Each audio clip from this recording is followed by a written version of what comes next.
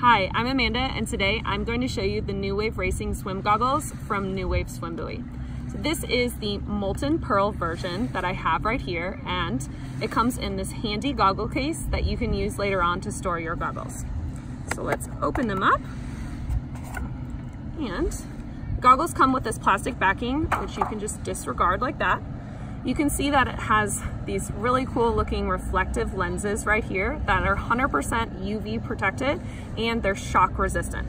They also have an anti-fog coating so you don't have to worry about them getting foggy while you're swimming.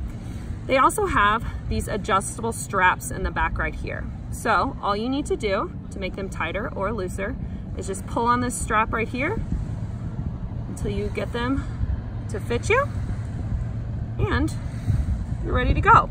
They also have these nose bridges that they come with that you can exchange if you need the goggles to be set more narrow or if you want them to be a little bit wider depending on how you like them to fit your face.